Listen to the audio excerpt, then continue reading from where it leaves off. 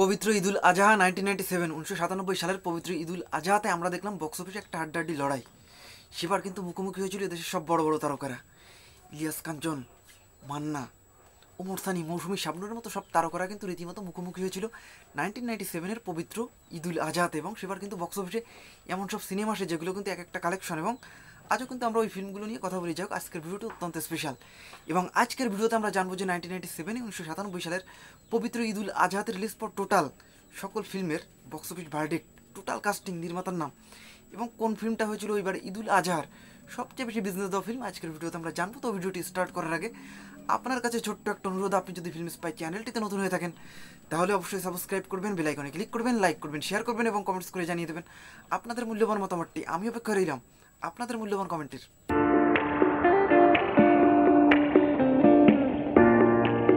Nineteen ninety seven, উনিশশো সাতানব্বই সালের পবিত্র ঈদুল আজহা ছিল বক্স অফিসের রীতিমতো একটা হাড্ডাহাড্ডি লড়াইয়ের দিন। আমি আগেই বলেছি, সেবার সব বড় বড় তারকাদের পাশাপাশি কিন্তু এসেছিল সব ভালো ভালো নির্মাতারা। শওকত জামিল, তেলোয়ার জাহান ঝন্টু, ভালো ভালো নির্মাতাদের ফিল্ম এবং ক্যারেক্টার আর্টিস্ট হুমায়ুন ফরিদি।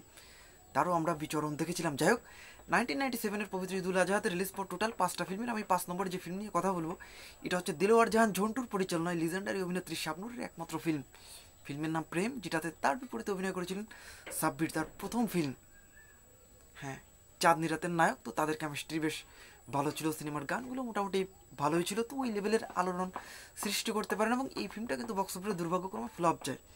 সামনের ঈদুল আজহাতে রিলিজ পর এটা একমাত্র ফিল্ম ছিল এবং বক্স অফিসে কিন্তু ফ্লপ যায় প্রেম দিলওয়ার জান জোন্টোর পরিচালনায় সামনের একমাত্র ফিল্ম এবার উনিশশো সাতানব্বই সালের পবিত্র ঈদুল আজহাতে রিলিজ পর টোটাল পাঁচটা ফিল্মের ভিতরে আমি চার নম্বর। এবার যে ফিল্মটা নিয়ে কথা বলব এটা, আজমল, হুদা, মিন্টু পরিচালিত একটি ফিল্ম আসে, যে ফিল্মের নাম অপরাধ জগতের রাজা। এবং তিনি এমন ডিরেক্টর যে, তার এই ফিল্মে তিনি তার দুইজন ছেলে, জয় বিজয় তাদেরকে নায়ক বানিয়ে দিলেন। তার ছেলেরা এই ফিল্মের নায়ক ছিলেন এবং নায়িকা ছিলেন এই সিনেমার কাঞ্চি এবং সিনেমাটা আমি দেখেছি যথেষ্ট বাজে ফিল্ম ছিল, গল্প ভালো ছিল না, এবং আসলে এটা ওই সময়ের সঙ্গে যায় না।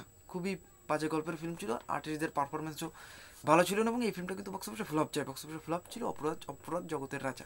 এবার উনিশশো সাতানব্বই সালের পবিত্র ঈদুল আজহাতে রিলিজ পর টোটাল ফিল্মের ভিতর তিন নম্বরে এবার যে ফিল্মটা রয়েছে, এটা রেজা হাসমত পরিচালিত একটি ফিল্ম প্রেম পিয়াসি অমরনাথ সালমান শাহ ঢারুদ সম্রাজ্ঞী শাবনুর তো এই জুটি সালমান, যে সিনেমাটা পুরোপুরি তিনি শেষ করে যেতে পারেনি রাজীব ছিল গুরুত্বপূর্ণ ক্যারেক্টারে প্রেম পিয়াসি তো মানে থাকে না একটা ব্যাপার। তো এই ফিল্মটা কিন্তু বক্স অফিসে আসলে হিট বা সুপার হিট ওরকম কিছু ছিল না। কারণ সালমানের অকাল প্রমাণের পরে আসলে একটা অন্যরকম ব্যাপার আমাদের ফিল্মে ঘটে গিয়েছে। তখন বেঙ্গলি ফিল্ম রোমান্টিক থেকে ট্রান্সফর্ম করছে অ্যাকশনের দিকে এবং এই ফিল্মটা কিন্তু বক্স অফিসে এভারেজ ছিল। বক্স অফিসে এভারেজ ছিল প্রেম পিয়াসি সালমান শাবনুর জুটির ফিল্ম এবার উনিশশো সাতানব্বই সালের পবিত্র ঈদুল আজহাতে রিলিজ পর টোটাল ফিল্মগুলোর ভিতর দুই নম্বরে যে ফিল্মটা রয়েছে, এটা শওকত জামিল পরিচালিত একটি ফিল্ম রিলিজ পায় যে ফিল্মের নাম গুন্ডা পুলিশ। যেটাতে আমরা দেখলাম গুন্ডা পুলিশ দুই ভাইয়ের ক্যারেক্টারে মান্না এবং ইলিয়াস কাঞ্চনকে।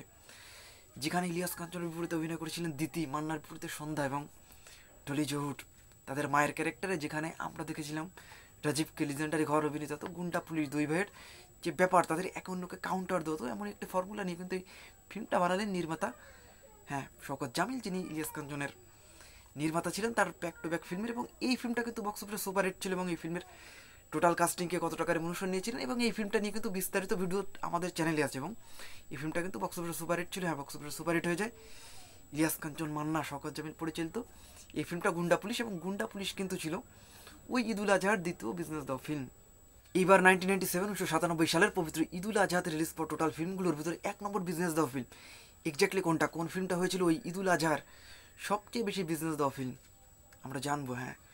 ইস্পাহানি আরিফ জাহান পরিচালিত নাইনটিন নাইনটি সেভেনের ঈদুল আজহাতে একটি ফিল্ম আসে, যে ফিল্মের নাম লাট সাহেবের মেয়ে।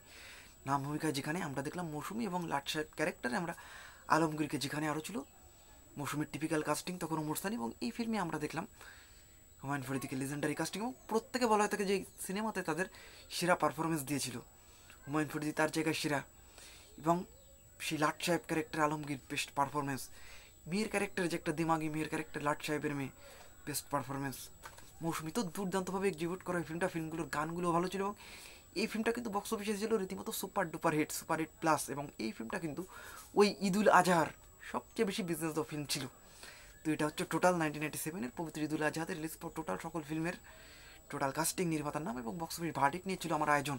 তো ভিডিওটি কেমন লাগল, ভিডিওটি ভালো লাগল অবশ্যই লাইক করবেন শেয়ার করবেন এবং কমেন্টস করে জানিয়ে দেবেন আপনাদের মূল্যবান মতামতটি। আমি অপেক্ষা রইলাম আপনাদের মূল্যবান কমেন্টের